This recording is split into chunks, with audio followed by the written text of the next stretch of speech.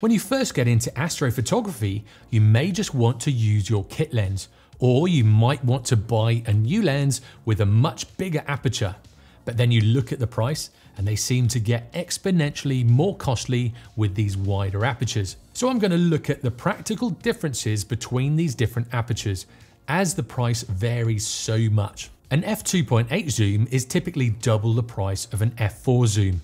And if you're looking at prime lenses, an f1.4 prime lens is pretty much double the price of an f1.8 prime lens. Now the difference between a prime lens and a zoom is that a zoom has a range of focal lengths and it can zoom in or it can go to a telephoto length, whereas a prime lens has a fixed focal length and it stays there, it doesn't zoom in or out at all. Now if you look online at all and do any kind of research on astrophotography, everyone says you need an f2.8 or faster lens.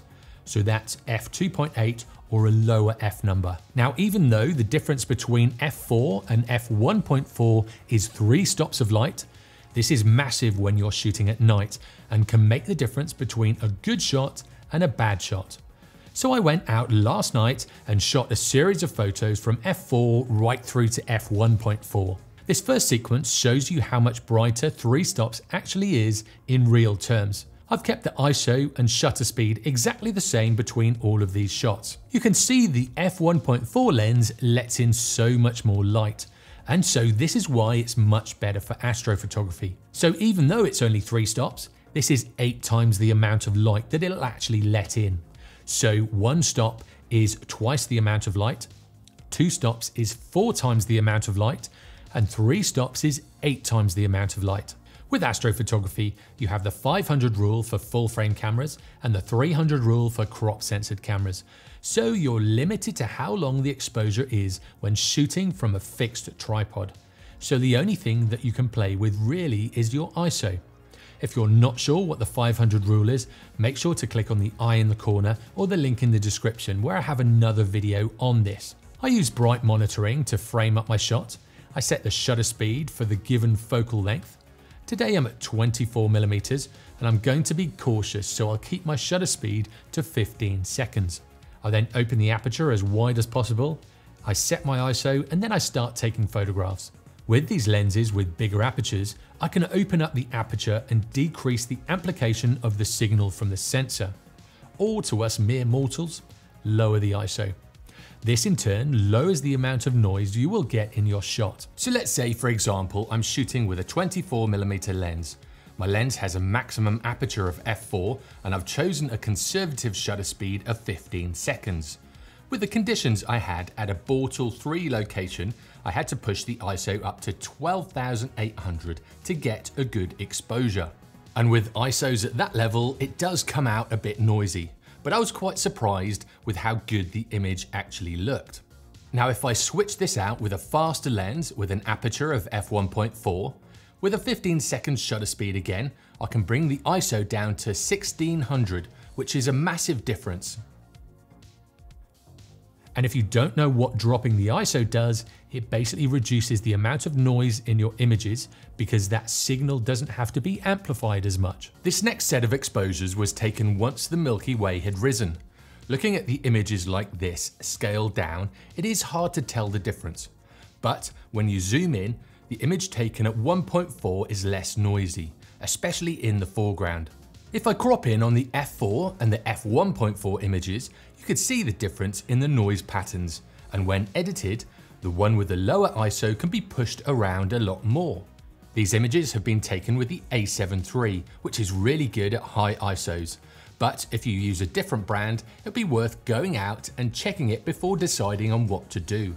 So if you are using a lens that has a maximum aperture of f4, this may be the reason why you're getting good astro shots but not great astro shots. When you use a kit lens or a lens with an aperture of f4 or smaller, there is a lot less light being let into the camera, and this in turn means a lower quality image. When you're taking photographs with a full frame camera and say a 14mm lens, and you're not going to be blowing your images up to poster size, you can shoot with anything up to 30 seconds, so you could probably get away with an f4 lens. But with a 35mm or a 50mm lens, it's the difference between getting a usable shot and a non-usable shot. And this is when the wide apertures really do help. In saying that, if you are shooting with a 14mm lens, if you get a lens with a much wider aperture, again, this will let loads more light in and you'll be able to drop your ISO even more and then you'll be able to get much cleaner images. Now, if you don't want to spend all of that money on really wide aperture lenses because they are so expensive, there are two ways around this. And this is by stacking your shots or by using a tracker. These both enable you to get much better images with kit lenses and with lenses with smaller apertures than these fast lenses that do cost all of that money. And stacking is the cheapest way. If you want to learn more about that, click on the eye in the corner or the link in the description to another of my tutorials. If you can only afford the kit lens, you can still go out and get some great photos of the stars, but I would suggest stacking your photos. But to take your photos to another level, it's definitely worth saving up and getting a really wide aperture lens. And with companies such as Samyang and Sigma, you really don't have to spend that much to get a good fast wide angle lens for your camera. As for what lenses to buy, if you're on a budget, get something like the Samyang 14mm f2.8. Or if you're shooting with a crop sensor camera, get the Samyang 12mm f2. They are both great for astrophotography and come in at quite a good affordable price. If you have a little bit more to spend, you could try some of the lenses from Venus Optics, they do some great lenses, but are a little bit more expensive.